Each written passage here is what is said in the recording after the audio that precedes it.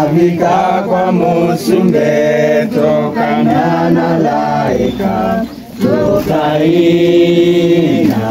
tukaina Avika kwa musumbe tokana na laika